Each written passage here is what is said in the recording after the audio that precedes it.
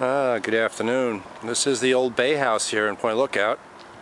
And there's a new sign on the building. It was sold not too long ago. And they did spend a little bit of time cleaning it out. And what it's going to become is going to be the Pointe Ale House and Grill right down here in Point Lookout. The new game in town.